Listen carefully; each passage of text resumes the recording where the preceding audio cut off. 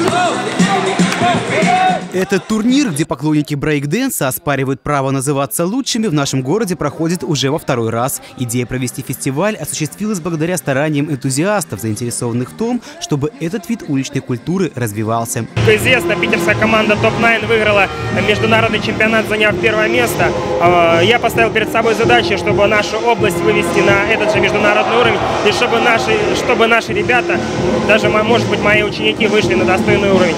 Для этого я готов делать э, раз за разом очередные фестивали. Фестиваль решили организовать на международном уровне, пригласили участников из Беларуси и Украины. Организаторы отмечают высокий уровень подготовки участников. Гостям, в свою очередь, понравилась и организация, и смоленские брейкеры. Очень, так скажем, с трудом добрались сюда, еле нашли зал, но фестиваль, как и прошлый фестиваль, может дать фору как и Москве, так и Минску и любому другому крупному городу. Наравне с парнями свое искусство показали и девушки. Их танцы, как и у ребят, зрелищны и энергичны.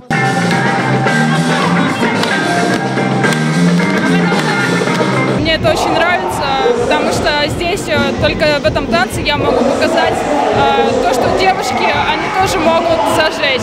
Движение должно развиваться, считают организаторы, ведь это не просто элемент уличной культуры, но еще и спорта, воспитывающий волю, ловкость и силу. Дмитрий Волков, Анастасия Лебедь, 24 Смоленск.